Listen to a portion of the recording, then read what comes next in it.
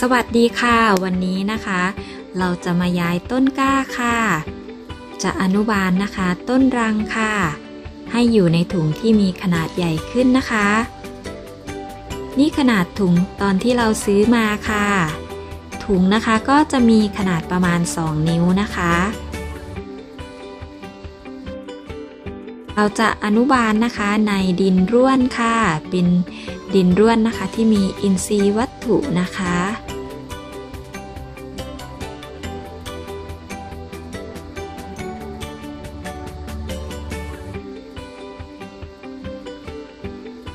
ต้นรังนะคะจะมีอยู่ 2 ประเภทนะคะก็คือจะมีรังแดงนะคะ แล้วก็รังดอกขาวค่ะ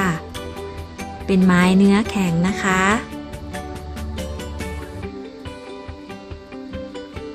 มีมากนะคะ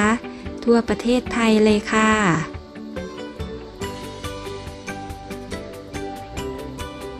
ต้นรังนะคะอยู่ในตระกูลวงยางค่ะ สามารถเพาะเห็ดได้นะคะ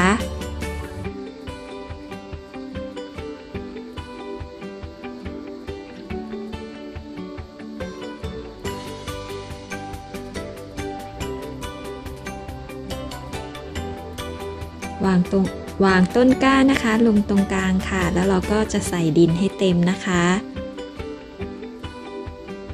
ทำการรดน้ำค่ะ เป็นไม้ที่ทนต่อทุกสภาพอากาศได้ดีนะคะ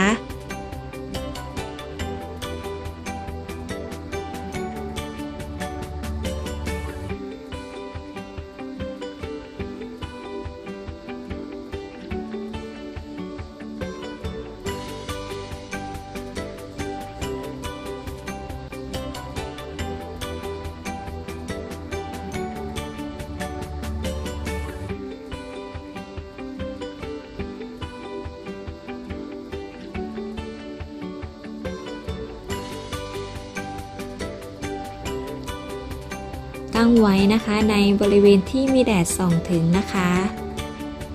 อนุบาลไว้นะคะ จนกว่าต้นกล้าจะโตและแข็งแรงนะคะ ถึงจะนำไปปลูกค่ะ